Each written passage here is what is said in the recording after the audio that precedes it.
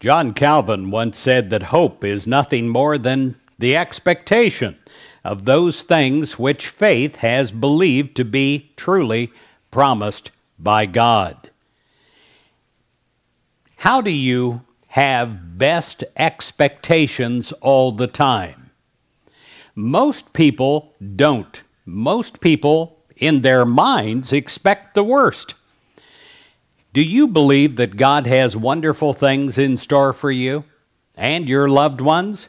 You should, because God does. Romans 8 24 says, We are saved by hope, and truly we are.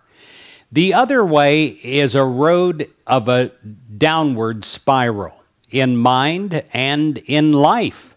When we expect the worst, we tend to bring it upon ourselves. When we expect the best, we tend to bring it upon ourselves.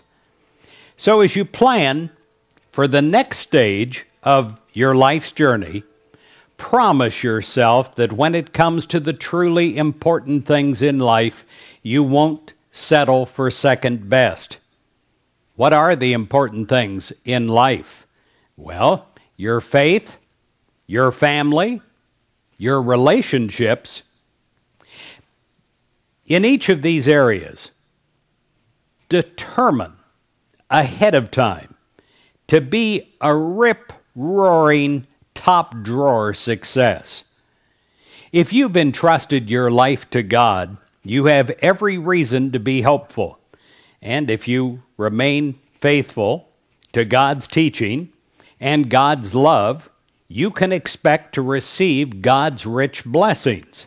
So set God centered goals in a prayerful way and work hard in a faithful way and dare to dream in a confident way. And when you do, my dear friend, you can expect through faith in God to receive God's best gifts not second best, the best.